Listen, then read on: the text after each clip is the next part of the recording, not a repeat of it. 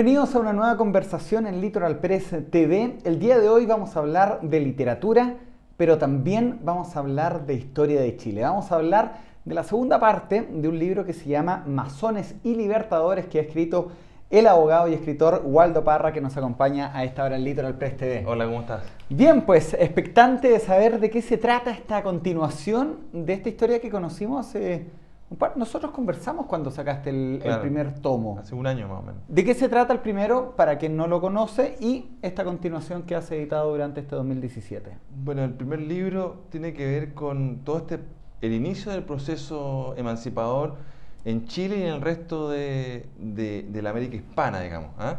Eh, lo que sucedió en Chile es un fenómeno que, se repitió en distintos reinos o, o, localías, digamos, que tenía España en América. ¿ah? Bueno, de hecho se llama el amanecer de la República. Exacto, exactamente, pero, pero de una república incipiente, porque en realidad en esa época, hace 200 años atrás, el concepto de democracia y república no, no estaban arraigados. Entonces, en el fondo eran, digamos, unos aventureros, por decirlo así, que eh, tenían esta idea de emancipar estos territorios uno siempre tiene esta idea media, eh, eh, esta, idealista de, que la independencia y luchar por la libertad, pero en realidad, eh, si tú hurgas un poco en la historia, te das cuenta que habían otros intereses, específicamente económicos, ¿ah? de las grandes potencias de la época, hablemos de Francia e Inglaterra, que veían en, estas, en estos territorios que de una España ya en decadencia, ya que no, no podía hacerle frente a, Inglaterra ni a, ni a Francia, a tal punto de que Francia invade España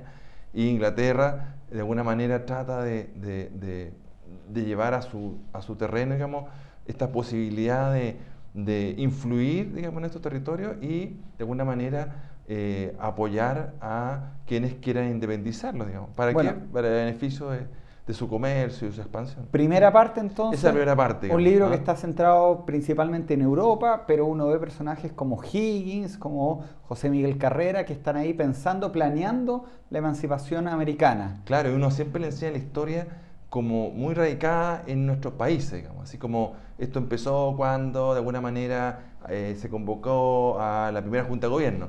Pero nadie dice, oye, pero la Junta de Gobierno viene porque hubo unos señores que de alguna manera influyeron para que esto se produjera. Eh, eh, es increíble, pero nosotros, nuestra influencia viene de, de, los, de los criollos rioplatenses. Los, los argentinos ya eh, meses antes, el 25 de mayo de 1810, habían decidido crear una, una, un gobierno autónomo, digamos, criollo, local. Bueno, por eso ellos celebran el 25 de mayo y el 9 de julio. Nosotros deberíamos conmemorar eh, el 5 de abril y, el 18 de septiembre de alguna manera, digamos. Claro.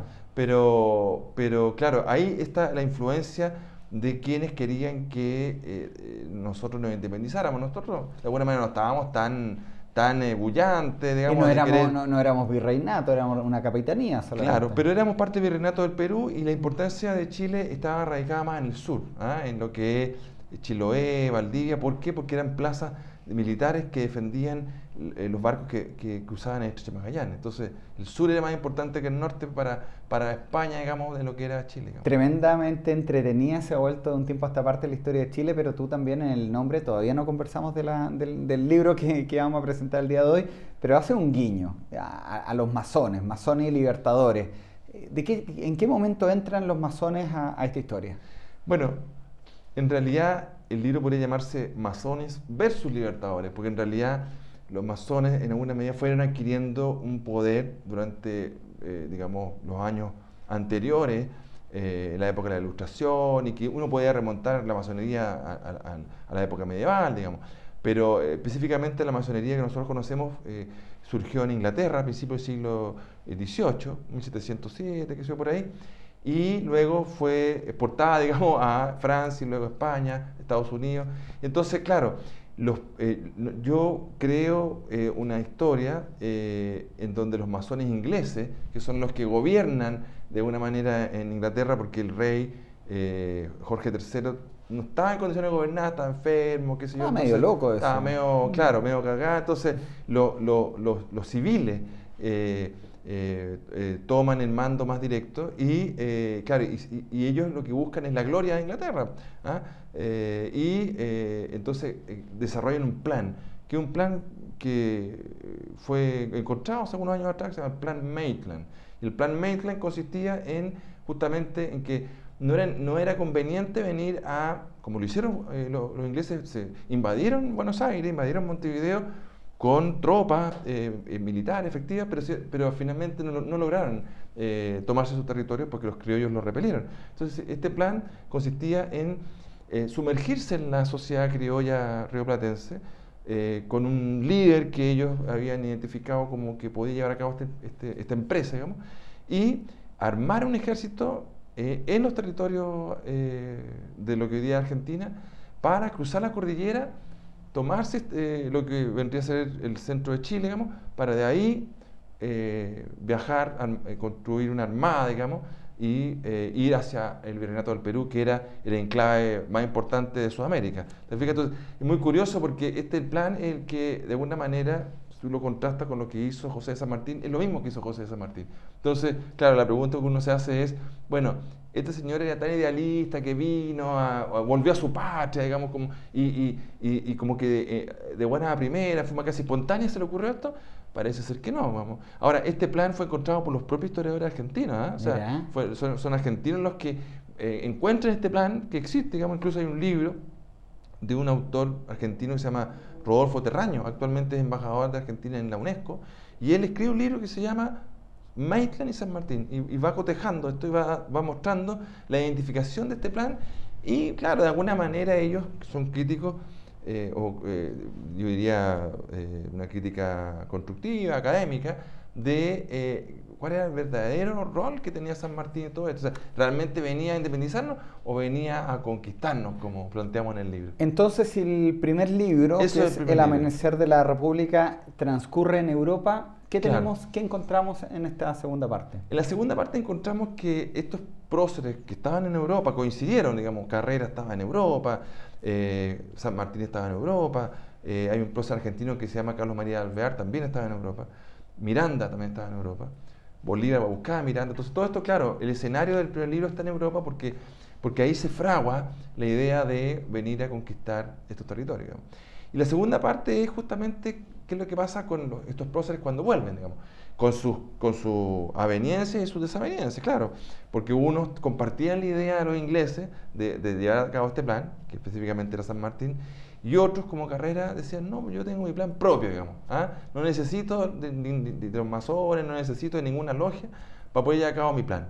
Entonces, claro, en la segunda parte nos encontramos con que cada uno de estos próceres desarrolla su propia idea. Digamos, San Martín llega con el apoyo inglés a Argentina y va desarrollando este plan, se incorpora a la, a la, sociedad bonaerense, se casa con una, con una muchacha, digamos, de, de, la, de la aristocracia, digamos, y finalmente se radica en Mendoza y va construyendo este, este ejército que finalmente se llama el ejército de los Andes y en paralelo va, adquiriendo el poder y va construyendo lo que se denomina después la logia lautarina, que es el, el, sustento político, digamos, de todo su, su, andamiaje. Y Carrera, por otro lado, va creando todo lo que se conoce como la patria vieja, eh, que es muy idealista, qué sé yo, y al final termina en el libro con con la, con la batalla de Rancagua, el desastre de Rancagua y con, claro, con el enfrentamiento finalmente entre Carrera y O'Higgins, porque, claro, O'Higgins era en alguna medida un extranjero, ¿ah? aunque había nacido en Chile y todo, él tenía sangre inglesa y, en alguna medida hay una contraposición ahí entre Carrera y, y O'Higgins, porque tendrían distintas visiones, digamos. Tú en el primer libro das cuenta de esta rivalidad entre José Miguel Carrera y Bernardo O'Higgins en este segundo tomo las profundiza. Claro, claro. En realidad en el primer tomo eh, vemos estos personajes cómo, cómo van eh, eh, incorporándose a este, a este proceso.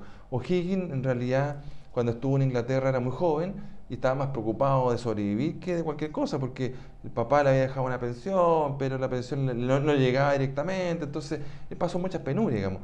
Carrera llegó a España buscando nuevos horizontes, y, se incorporó al ejército español justo en el momento en que Francia invade España. Entonces, claro, le tocó todas las guerras napoleónicas, que fueron guerras eh, muy importantes, digamos, son batallas que si la batalla de Maipú fueron aproximadamente 5.000 personas, ya estamos hablando de 100.000 personas que batallaban, entonces imagínate la experiencia que incluso fue condecorado, fue herido, Y, a ver, a ver, a ver, aquí hay que hacer un disclosing. ¿Ya? ¿Usted es, Waldo Parra, ojiguinista o carrerista? Bueno, yo trato de ser lo más objetivo posible, pero, pero obviamente que a mí me, me llama mucha atención la figura de carrera, porque creo que, que no ha sido lo suficientemente valorada. Creo que, que, que O'Higgins de alguna manera tuvo, tuvo el empuje, digamos, de, de los gobiernos eh, anteriores, digamos, esto, esto viene de la mitad del siglo XX más o menos. Bueno, cuando uno ve la figura de José Miguel Carrera, un cabro de veintitantos años que forma una república, ¿sí? es, claro. es, muy power. en el primer libro lo, lo reflejas también con, con documentos, con, con, con, toda una base histórica desde esa, desde esa perspectiva. Efectivamente, uno cuando dice, por ejemplo, quién es el padre del periodismo chileno, uno dice eh, Camilo Enrique. Pero uno se puede preguntar, bueno, él, claro, Camilo Enrique, porque fue el primer director del primer diario que hubo en Chile. La Aurora de Chile. La Aurora de Chile. Pero ¿quién, quién fue el que dijo, a ver, eh, coloquemos este gallo? Y compremos una imprenta. Traigamos la idea de la ilustración. fue Carrera. Carrera fue, compró de su bolsillo la imprenta. Se la compró unos gringos que estaban acá en Chile, que tenían esta imprenta aquí como en el banco y sabían qué hacer con ella. Y él coloca a Camilo Enrique ¿ah? eh, eh, en, la dirección del diario, digamos. Entonces, claro, Carrera no solamente un militar, sino también yo lo denomino como un estadista, un tipo que, que tú puedes encontrar eh, en sus cartas, en su diario de vida, porque él, él, escribía, digamos, todos los acontecimientos que le iban pasando, digamos. hasta, y por el, hasta, el, momento de su muerte en Mendoza. Hasta el momento de su muerte, claro. Muero por la libertad de América. Claro, y le escribe una sentida carta a su mujer momentos antes de morir, digamos. Entonces, claro, una figura es como una especie de Napoleón, ¿eh? Napoleón chileno, Napoleón sudamericano, que tiene muchas eh, matices, tiene luces y sombras, pero indudablemente que junto con O'Higgins, por supuesto, y ahí están las dos estatuas hoy día juntas, digamos, forman eh, el, conglomerado de personajes que, son nuestros padres, la patria. Pues yo, yo lo que digo es que nosotros no tenemos un solo padre, así como una especie de Jimán que va con una que va cortando cabeza, sino que es un grupo de personas donde está Carrera, está Higgins, está Freire, está, qué sé yo, Manuel Rodríguez y, muchos otros que decidieron llevar a cabo este emprendimiento, cómo fue ese lugar, digamos. Bueno, el primer eh, tomo entonces habla de estos patriotas chilenos y latinoamericanos, mejor dicho, en Europa. Segundo tomo, llegan ya al continente. Eh, ¿Hasta qué momento relatas la historia y por qué la historia continúa? Claro. Sospecho que viene un tercero. Exactamente. Eh, bueno, son principalmente tres historias. Una, cuando vuelve Bolívar con Miranda a Venezuela, y ahí se forma lo que ellos denominan la, patria boba. ¿ah? Ellos en Venezuela hablan de la patria boba, o como nosotros hablamos de la patria vieja. También sufren la derrota de los españoles. En realidad, salvo en, la, lo que hoy día es Argentina, en todos los territorios eh, eh, hispanos en América eh, se produjo lo que se denominó la reconquista. Los españoles recuperaron el poder en todos los, lugares donde hubo gobierno autónomo, y Chile, por supuesto.